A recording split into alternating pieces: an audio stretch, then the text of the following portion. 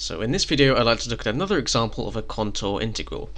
This is slightly different to my previous examples. In this case I'm given a function and I'm asked to integrate it over some different contours. Here I'm asked to integrate it over the circle mod z equals 1 and here I'm asked to integrate it over another circle mod z minus 2i equals 2. But before I start drawing these contours out, I'll first look at where the poles of my function are because the location of those poles will dictate the value of my integral. So where are the poles of this function? Well, you'll notice that I can factorize z squared plus 4 in the following way. I can write z squared plus 4 as z minus 2i times z plus 2i. So you notice that I've instantly got poles at z equals 2i and z equals minus 2i. So let's write that down. So I've got poles at z equal to 2i and z equal to minus 2i. Now you notice that these poles both have order 1.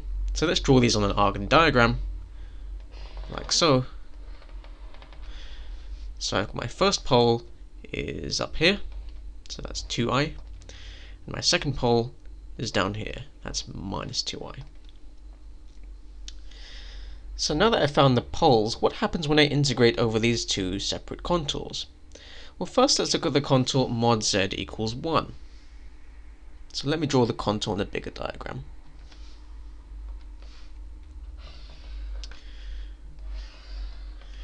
So the circle mod z equals 1 is just a circle of radius 1 centered at the origin, which looks something like this. So this is a circle of radius 1 centered at the origin. It's going to intersect the imaginary axis at the points i and minus i. It's also going to intersect the real axis at the points 1 and minus 1, although I don't really care about that at the moment. Notice that my poles do not lie inside this contour. I had a pole at z equals 2i, which lies here, which is outside the circle, and I've also got a pole at z equals minus 2i, which lies outside the circle. So this is minus 2i, and this is plus 2i. So what does this say about the value of my integral?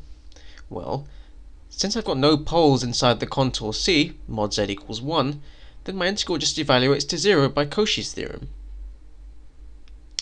So, in other words, by Cauchy's theorem, so by Cauchy's theorem, since there are no poles inside my contour, this integral is just 0. So the integral over mod z equals 1 of 1 over z squared plus 4 dz is just 0. So that's part A. So part A is done. Now let's look at part B.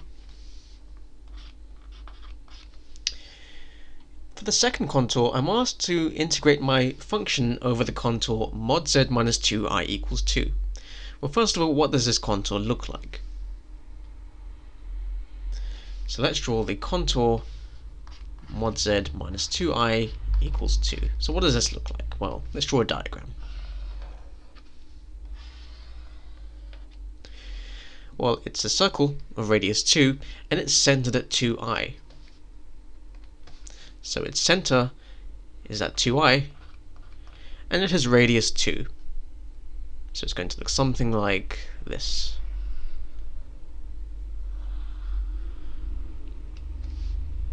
Since this is a contour of radius 2, we can find out where this circle intersects the imaginary axis.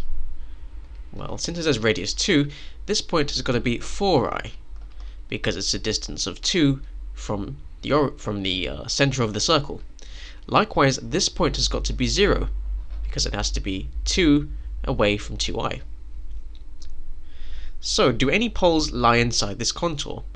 Well, my poles were 2i and minus 2i.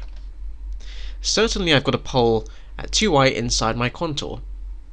I've also got a pole at minus 2i, but this pole does not lie inside my contour, so the only pole that I care about is the pole at 2i. So what does it say about my integral? Well, you might remember that I can use the residue theorem to evaluate this. So what happens when I do that? Well, using the residue theorem, we know that the residue of my function f of z at the point z equals 2i, well that's just equal to the limit as z approaches 2i of z minus 2i times my function that I'm trying to integrate. The function I'm trying to integrate is 1 over z squared plus 4. So this is z minus 2i times 1 over z squared plus 4. What can I do now? Well, I've already factorized the denominator. So, this, quite nicely, can cancel. Well, on the top I've got z minus 2i, and on the bottom I've got z minus 2i times z plus 2i. And immediately you see that these two factors, z minus 2i, z minus 2i cancel. So what I'm left with is the limit as z approaches 2i of 1 over z plus 2i. And this, this uh, limit is quite easy to evaluate, it's just 1 over 4i. Because 1 over 2i plus 2i is 1 over 4i. Now if I use the residue theorem, so using the residue theorem, this says that the integral over the circle z minus mod z minus 2i equals 2 of 1 over z squared plus 4 dz that's just 2 pi i times the sum of my residues. Well, I've only got one residue because there is only one pole that lied inside my contour. So it's 2 pi i times the sum of the residues, which is just 1 over 4i, which is 2 pi i over 4i, so over 4i, the i's cancel, and I'm left with pi over 2. So that's how I evaluate an integral over different contours. If you liked what you saw and you'd like to see more of it, then make sure you subscribe and leave a like or a comment below. Thanks for watching.